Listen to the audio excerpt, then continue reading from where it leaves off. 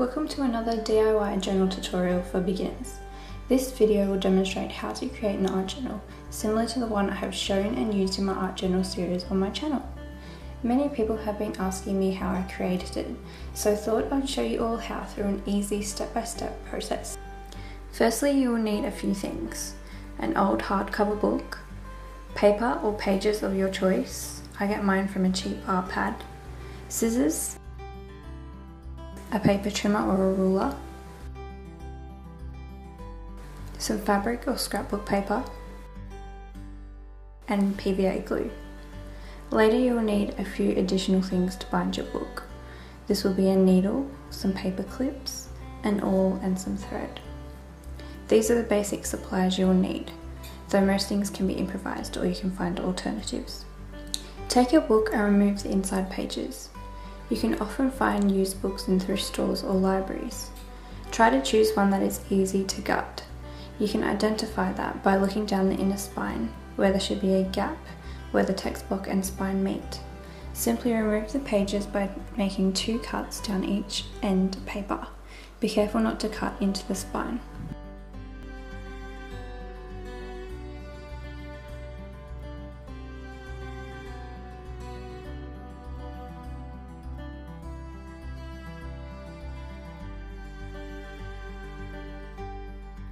Next you will want to reinforce the cover. You can do this with fabric, paper or sometimes even tape. I'm going to use fabric and cover the entire inside of the book so it looks tidy and decorative. But the most important part to cover is the hinges next to the spine. This is where you will need reinforcement. Using PVA glue to glue your reinforcement to the inside cover.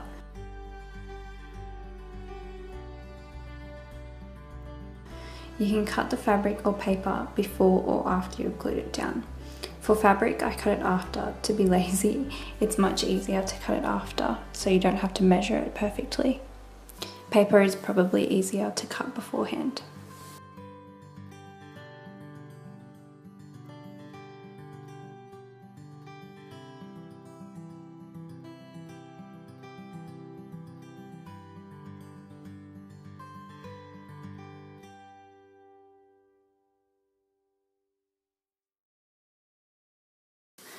After you've glued it, set it aside to dry. Now we'll start to make the pages. Choose whatever paper that you're comfortable using. Take into account how you'll use it, what mediums you'll use, and what is suitable for your personal art process. I'm taking 20 sheets from my art pad and folding them in half. You can choose whatever number of pages suit you and your book cover, but make sure you leave enough room to expand with use. This part is optional, but now is the time to decide if you'll have any other interactive or varied side pages within your art journal. I like to include some fold out pages and sometimes even shorter pages and narrow pages. I create fold outs by making multiple folds rather than just one. Make the folds for your own personal preference. Now we will cut our pages to fit into a cover. The easiest way to measure your pages is to hold them to your cover and pencil in where the pages need to end to fit. I do this for the first page and then use it as my template for the rest. If you have a paper trimmer, you can now use it to cut your pages down.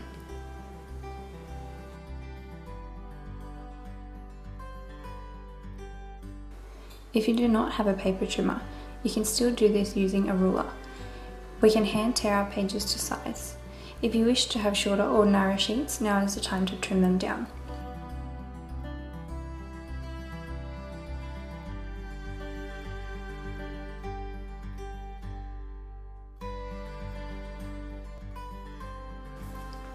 Finish cutting your remaining pages.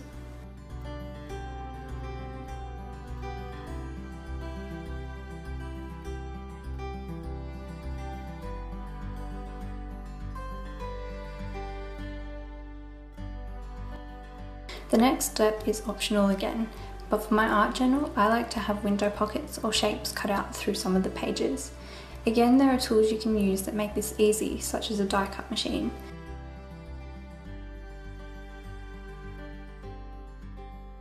But if you do not have one, you can also do this manually by tracing out your shapes and cutting by hand.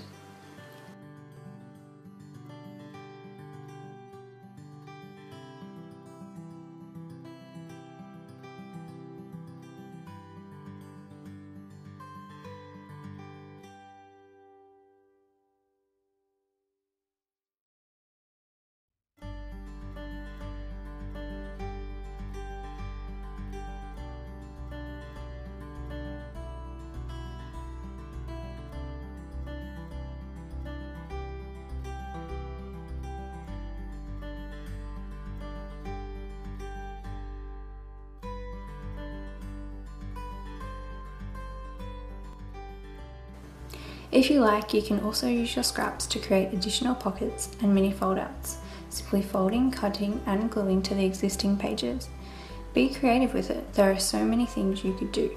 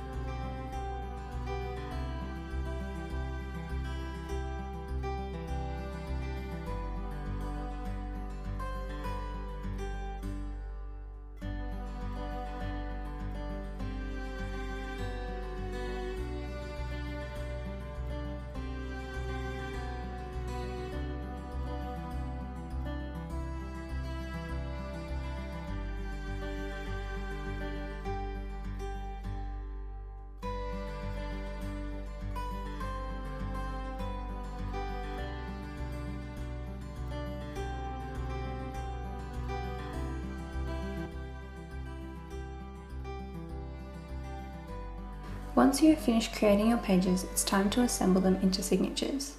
Signatures are groups of pages within your book that are individually stitched into the spine. I'm going to do groups of five pages.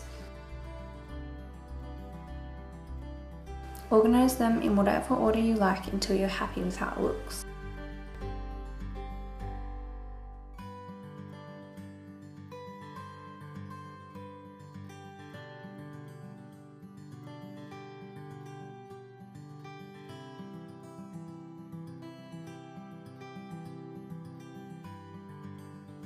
Set the pages aside for now.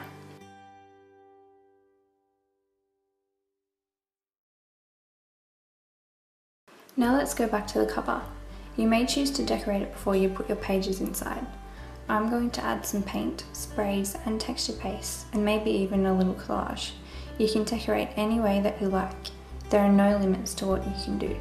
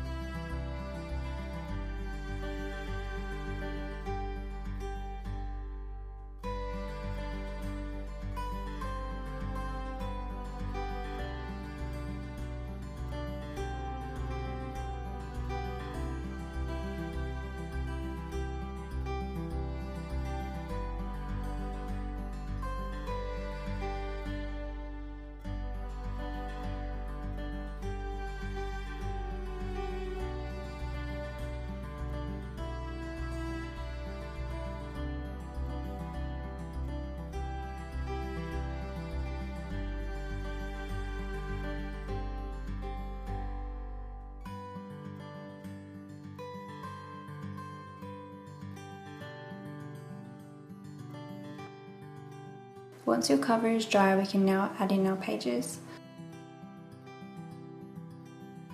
I like to stitch mine in following this simple method. Take your signatures and hold them together using paper clips, hairpins or whatever you have on hand. Take a scrap piece of paper the same length as your book spine. We'll use this as our template. To keep it simple, we're going to do a pamphlet stitch with only three holes. Measure out your holes on your template. They do not have to be perfect, but they will look tidier if you measure them the same or almost the same. One in the middle and two at either end. Label the top of your template so it won't get flipped around when you use it.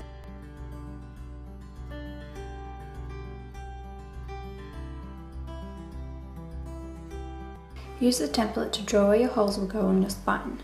Since I'm doing groups of 5 pages, I have 4 signatures to stitch in. You can measure this out to be perfect if you wish to.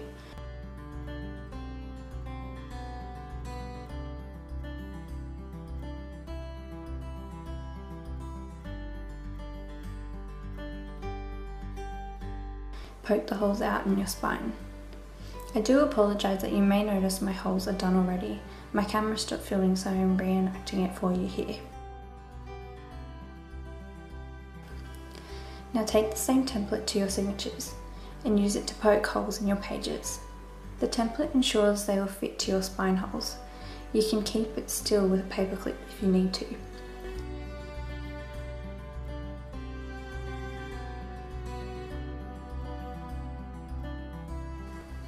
Once you have finished the holes, it's time to stitch your pages in. Don't be daunted, this is easy. Take some string, twine, cord or thread, preferably something strong and durable, thread it through a needle. Thread your string, take one lot of pages and thread through the middle hole. Leaving the end through the signature, thread the needle through the middle hole of your book.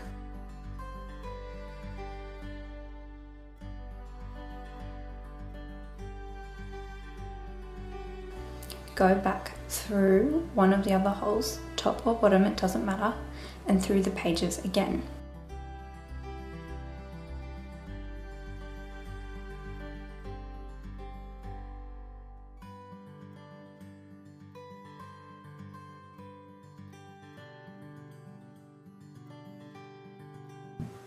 Now go back through the middle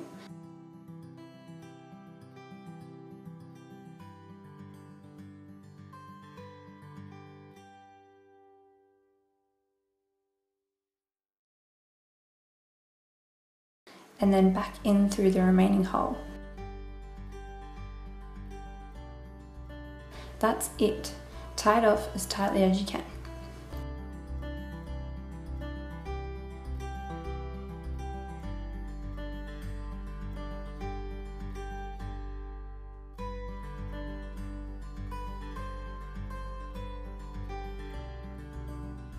Follow this method for your remaining signatures.